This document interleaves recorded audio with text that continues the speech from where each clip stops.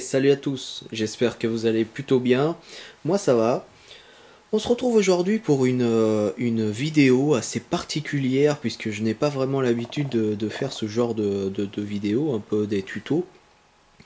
Euh, pour, euh, en, pour en réalité se, se, faire une petite comparaison, donc une comparaison mode 2015 entre une manette SCUF qui est juste là et une manette Burn contrôleur qui est juste ici. On va voir finalement euh, quelles, sont, euh, quelles sont les différences, quelles sont les différences aujourd'hui et, euh, et, quel serait le produit que moi je pourrais vous conseiller pour les deux puisque, puisque honnêtement il y a une sacrée différence une sacrée différence entre les deux et en termes de, de solidité en termes euh, finalement de fiabilité dans le temps. Puisque, on va pas se mentir, c'est des manettes qui coûtent aujourd'hui à peu près 200 euros, si c'est pas plus, selon les options que vous prenez. Et donc il est essentiel, à mon sens en tout cas, je pense qu'au vôtre aussi, d'acheter quelque chose qui tiendra la route. On va commencer tout, tout d'abord par la Burn Controller. Alors, Burn sont très forts. Question esthétique. C'est-à-dire qu'ils nous font des manettes extrêmement jolies. Euh, donc vous avez un tas de, possibilités euh, esthétiquement parlant. On va avoir euh, des dessins plutôt sympas. voilà, dans l'ensemble c'est plutôt agréable.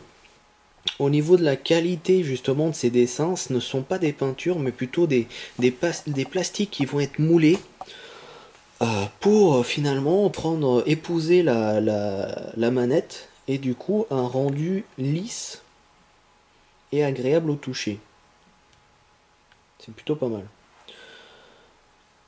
En termes, en ce qui concerne les boutons, vous allez avoir la possibilité de mettre des boutons par exemple en forme de douille de, de balles qui sont plutôt, alors d'un de bonne qualité et de deux, euh, en termes de solidité, assez sympathique.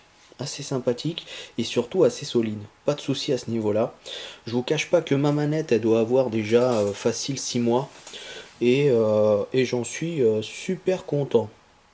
Alors, je vous conseille pas de prendre des contrôleurs comme ça en blanc. Et surtout, des grands contrôleurs comme ça surélevés. C'est l'erreur que j'ai faite.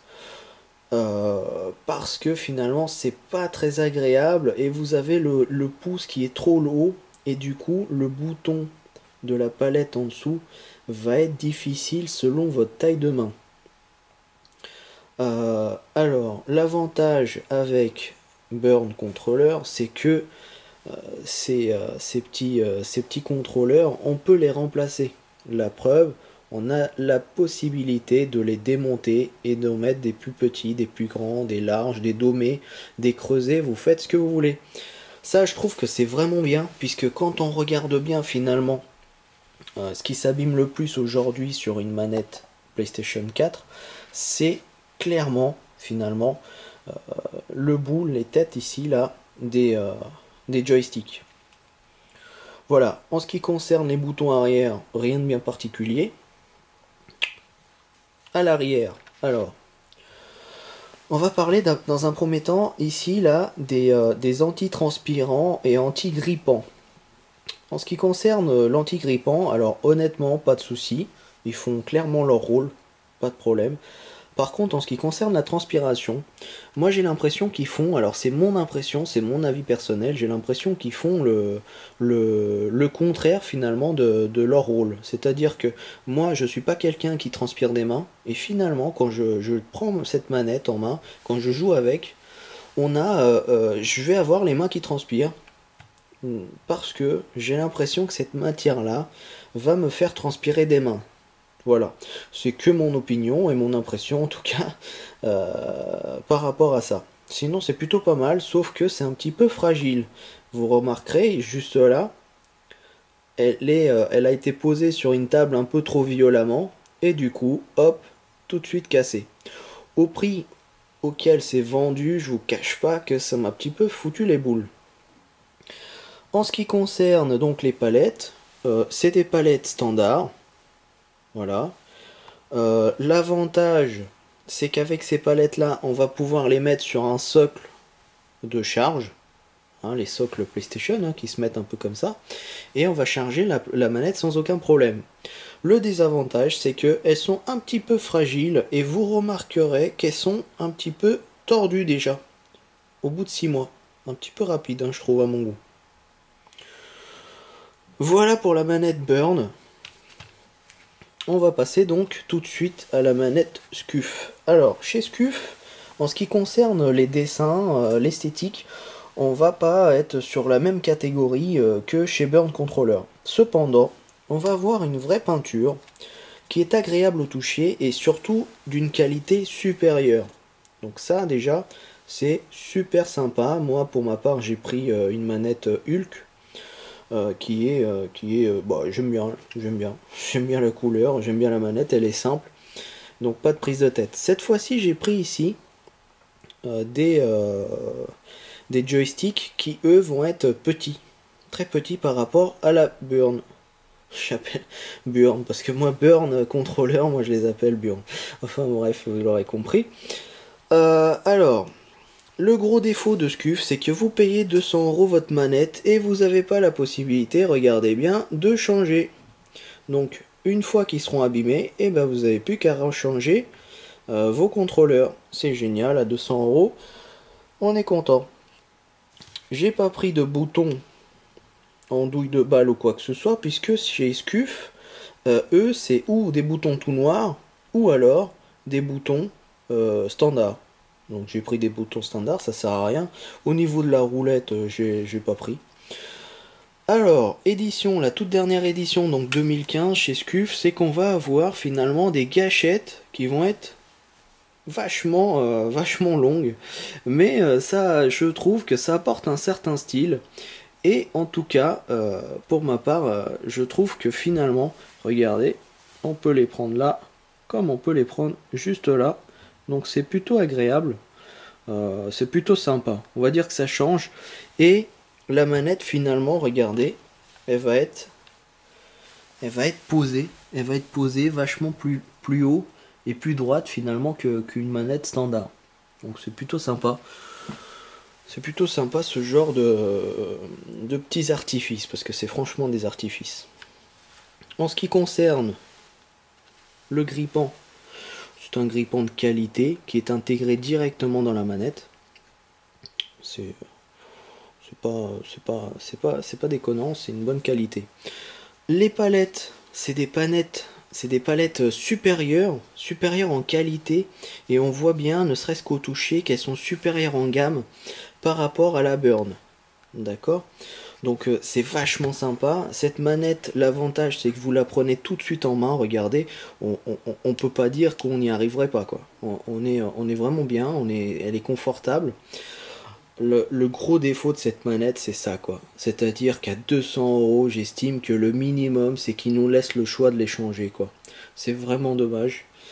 Euh, deuxième défaut de cette manette, c'est que les palettes, regardez, elles dépassent beaucoup trop euh, de la manette. Et du coup, vous pouvez pas l'utiliser pour un socle de, euh, de rechargement. Vous êtes obligé de la de la, de la, de la charger directement par le câble. Donc c'est un peu dommage pour ceux qui ont un socle, du coup ils peuvent pas s'en servir quoi. Sinon, pour terminer, donc euh, pour résumer finalement ces deux manettes, en termes de qualité, de qualité de prise en main et de fonctionnalité, euh, enfin une idée en tout cas de solidité, euh, je, je, préfère clairement euh, Scuf. Et en termes de, moins voleur, si on peut dire ça comme ça, je pense que c'est assez clair. Euh, il nous laisse le choix finalement d'avoir une manette au moins pendant deux ans, pendant trois ans. Je préfère Burn, puisque, encore une fois, sur la PlayStation 4, le plus, on va dire, le plus, le plus fragile, c'est cet élément-là. enfin, ces deux éléments-là. Et le fait d'avoir cette possibilité de les changer euh, bah, n'est pas déconnant finalement. Et du coup, vous allez, euh, vous allez avoir une manette qui va durer largement plus longtemps dans le temps. le petit défaut de chez Burn, c'est vraiment aujourd'hui les palettes. Alors, ce qu'il faut savoir, c'est qu'ils ont mis en place des nouvelles palettes euh, qui sont en forme un peu de d'araignée et qui vont vous permettre de d'appuyer n'importe où et, et, du coup vous allez avoir une palette vachement plus ergonomique.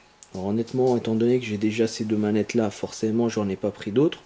Mais, euh, mais ils ont l'air d'avoir en tout cas évolué à ce niveau-là. En ce qui concerne ce que vous avez compris, les palettes sont déjà plutôt pas mal. Et, euh, franchement, euh, très très bien en main. Très très bien en main. Donc, si jamais vous voulez faire des économies, je vous conseille la manette Burn Controller puisque elle va vous faire dans le temps, elle va vraiment vous faire dans le temps. Si jamais vous voulez avoir une manette, euh, comment dire, simple mais efficace, je vous conseille, c'est vrai, la, la SCUF. Mais n'oubliez pas que dès que ça, ça sera abîmé, eh bah, vous, il vous reste plus qu'en acheter des nouvelles. Voilà. Bah écoutez les amis, j'espère que cette vidéo vous a plu, j'espère qu'elle vous aura servi, j'espère que cette, euh, cette comparaison va pouvoir vous aider finalement à vous décider entre les deux. Et j'espère que très bientôt, je pourrai vous faire euh, éventuellement euh, une, petite comparaison entre une manette Burn Controller pour Xbox One et une manette Elite de chez Xbox One que je sais pas si vous avez regardé mais qui est une manette vachement bien et surtout d'origine donnée par Microsoft. Enfin donnée façon de parler hein. ils nous l'offrent pas ils nous la vendent. Allez je vous dis à très bientôt. Ciao les amis. Bye bye